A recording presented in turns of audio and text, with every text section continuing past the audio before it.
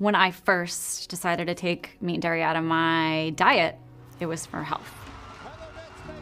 But what I ended up learning was not only do I feel better, but I'm also making a better impact for the planet